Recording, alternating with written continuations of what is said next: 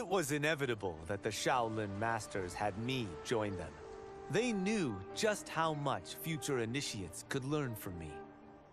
Shujinko was one of my earliest. His ability to absorb anyone's powers and skills was amazing. With the right training, he could become our greatest champion. I knew that I alone could give it to him. But as his proficiency grew, so did his ego. In love with himself and his power, Shujinko became a threat to the realms. He hadn't learned humility, because I wasn't the one who could teach it. I should have listened to Raiden's warning and not tried to train Shujinko alone. After he was subdued, Shujinko's accumulated abilities and memories were taken from him.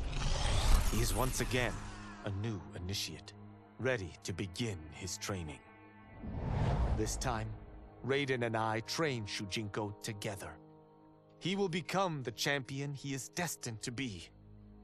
And I will fulfill my duties humbly and cooperatively.